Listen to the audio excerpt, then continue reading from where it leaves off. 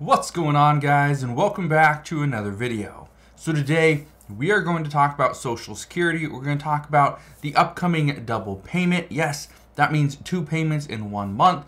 We're also going to talk about what the Social Security Administration is looking to do to try to change things and make things more equitable for people all across the United States.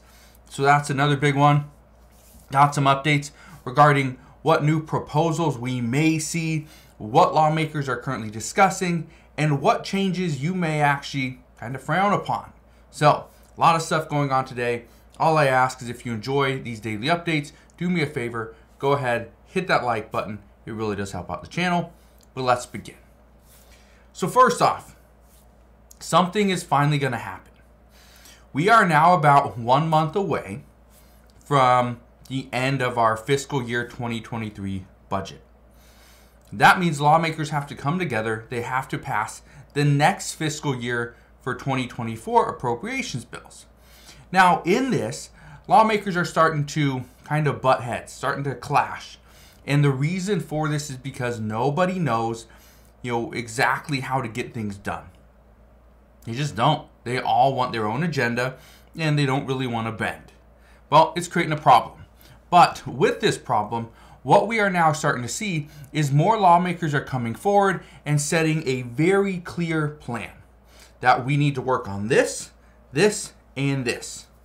That's good news for Social Security because Social Security is now being brought to the front instead of being stuck on the back burner. So that's good news there. They're finally doing something with that. The next thing that I think is very interesting is because of this this question as to whether or not the fiscal year 2024 appropriations bills even get passed, there's a chance we see a government shutdown.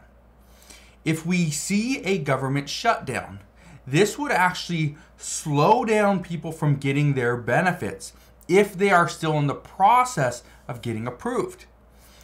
This is also one of the reasons why now the Social Security Administration is actually encouraging people to go and get their benefits early. Yeah, the Social Security Administration, who normally takes a step back and lets you decide, and they're just there to kind of give you ideas and throw out some numbers and stuff like that. Now, what we're hearing from many people, especially here in this community, they're saying they are now being told to go and take benefits early because you don't know if their office is going to be closed. You don't know if your benefits coming to you will be delayed, you know, an extra couple of months because the government has a potential shutdown. So, if you are considering going and collecting benefits, according to the Social Security Administration or many people within, they are being they are telling uh, people that call, "Hey, get benefits early because, well, you don't know if we're going to get shut down. And the other thing is, in the next 10 years, you don't know how much money is going to be coming to you. So, a lot of questions there, but good news is the Social Security Administration is finally coming forward and telling us pretty much what people want to hear. Just give us the truth. That is it. Now, I have something I want to show you and this was this is coming from the it's called disabilityscoop.com. Now I bring this up because this is not the first time I've seen this. Okay, many people have sent me articles just like this. I want to show you it. it. Says Social Security proposes update to SSI calculation. Now we come down here and read this. I want to explain what this like why this is coming uh, at this time. It says the Social Security Administration uses a different standard to determine supplemental security income benefits for people living in certain states. Now, the agency wants to update its rules to treat beneficiaries nationwide more equitably. It says the agency is proposing a new rule to modify how it alters benefit payments for those who receive what's known as in kind support and maintenance in the form of a rental subsidy says under current rules, SSI benefits are reduced if a person is paying rent or shelter expenses that are lower than the current market value or what they would pay on the open market. This is significant in cases where a person with a disability is renting from a family member or, for example, who charges them a reduced rate. Yeah, this is something that is starting to become a more of a reality because you think about it we are seeing home prices just go through the roof. Rent is going through the roof. So what happens in many cases is let's say I have a family member that needs a home, right? They need a place to live, and I have a an available apartment or uh, you know one of the you know single family dwellings is you know available, right? It's vacant, and I'm like, hey, you know Aunt Susie, you know I have this apartment. I know it normally rents for you know three thousand dollars a month, but you know I'll rent it to you for fifteen hundred. I'll rent it to you for just my mortgage, right?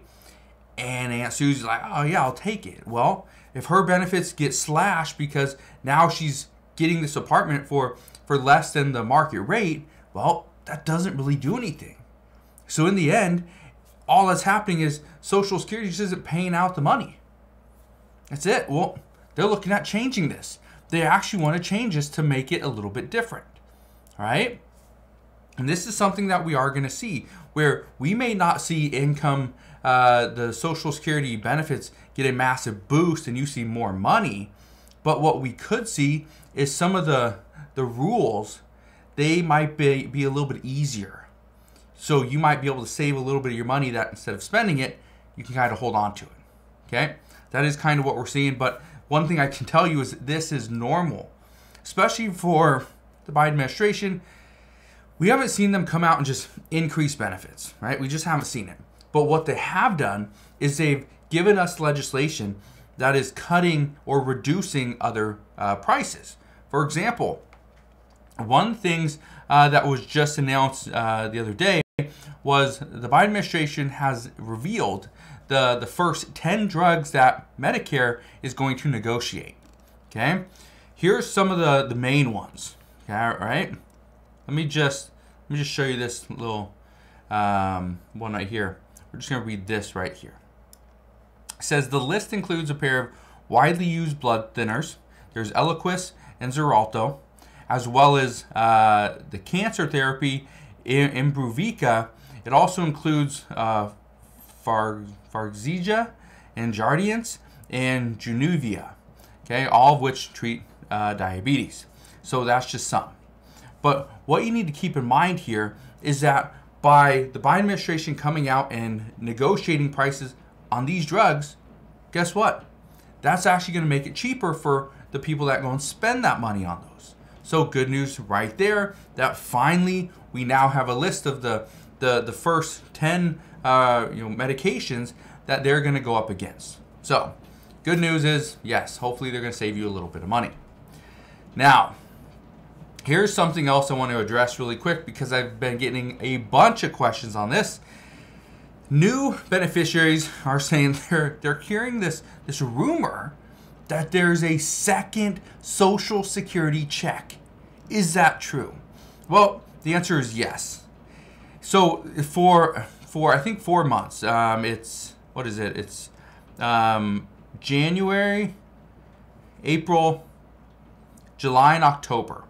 Yeah, for the I believe it's no no no. Those are the months you don't get anything. You get a double payment for let's see, you get March, you get June, September, and December. Those four months, you get double payments because in the following months, in in January, April, July, and October, you don't get a payment. All right. So just to give you an idea, really quick, you are going to get a check if you for your uh, SSI payment for your SSI benefits.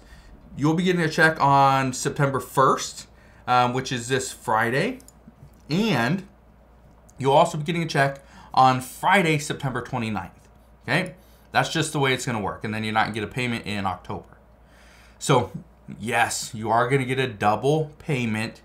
But I've been getting a lot of people saying that, oh, good news, we're getting a double payment. The reason you get a double payment is because you don't get one in the following month. So yes, September, get a double payment. All right? It is what it is. Now, here's the last thing I just want to address because a lot of people that are considering collecting benefits, that are already collecting benefits, or those that are just paying into it, they're a little bit upset. The reason why they're a little bit upset is because of some of the new rules that lawmakers are considering in order to reduce the expenses for Social Security. The first one is let's raise the full retirement age. Instead of age 67, let's raise it to age 68 or possibly age 69.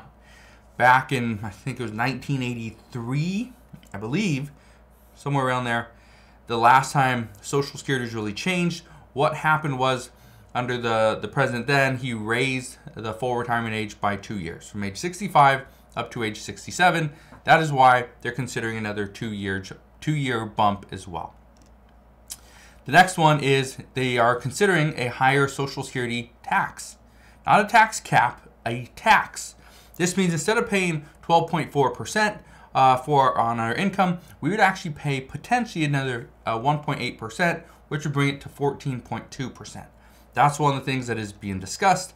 And the next one, and this is something I don't think is going to happen, but it's been thrown out by many people. Uh, multiple lawmakers have discussed this, have have negotiated this, and said it's just not something that we can do at this time. But being that there's many people that have a, a very high income, what Social Security or what lawmakers would like Social Security to do is means test seniors.